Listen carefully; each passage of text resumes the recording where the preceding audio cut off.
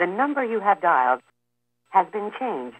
All right, Fuzz Pi Guy here. You're looking at the ADSBExchange.com 1090 megahertz SAW filter. Now this is for uh, ADSB, so like if you're using a Raspberry Pi hooked up with a dongle and you want to receive ADSB signals. So this will definitely help out if you're in a situation where you got a lot of interference or whatnot that you want to block everything else out except for a thousand megahertz, 1090 megahertz. So we're going to look inside this and see what it looks like.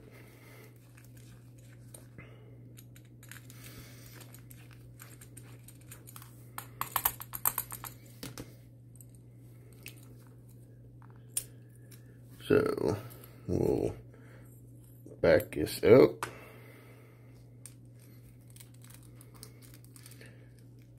take that screw out.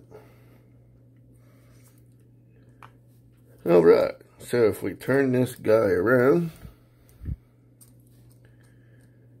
we have the filter.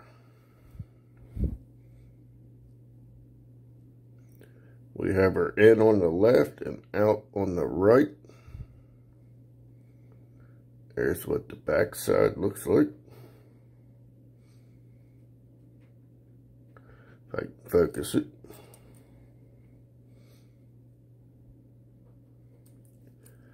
And there's what the top looks like. And we have our SMA, male and female, connectors, which is kind of nice because we can screw this side right into the RTL and our antenna on this side. Let's get a little closer here and see.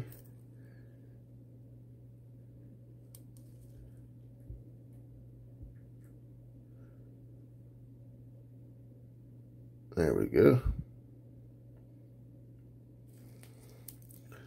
And we'll turn it around this way.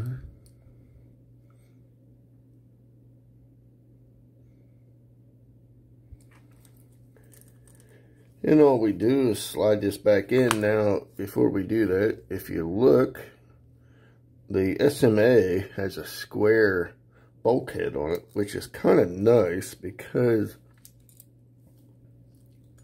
the hole is square, which is a good idea because we put this back in here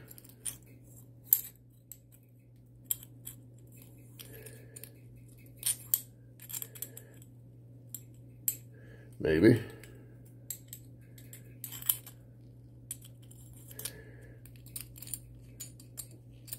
There we go.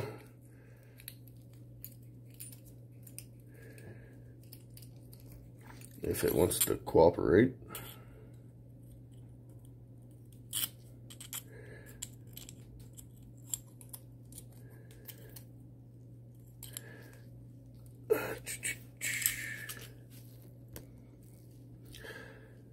All right.